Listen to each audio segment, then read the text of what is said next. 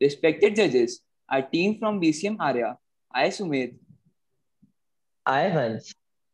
Hi, John. With the development in technology, many apps and games are being uploaded every day. Students playing these games waste a lot of their time not focusing on their studies and extracurricular activities. Wasting a lot of time result in health issues and lower grades.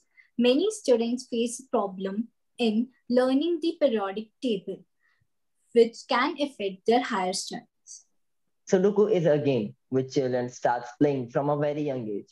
We have proposed a game, Synaptics, which is synergy of science and mathematics.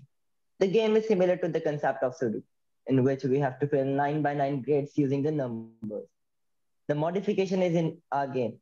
That is, instead of using the numbers, you have to add the elements of the periodic table. We have four levels for the game. The very easy level is for a beginner who doesn't even know how to play the basic Sudoku.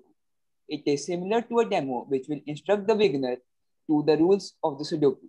In the easy level, we have the first nine elements which are used to fill Sudoku on the basis of the atomic numbers with the help of the symbols which will be mentioned along the grid.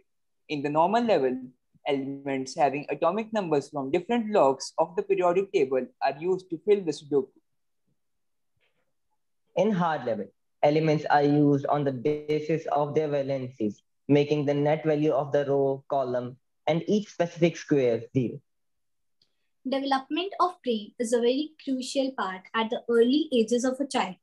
This game, with synergy of science and mathematics, makes it easy for a child to learn the various elements of a periodic table in a joyful manner.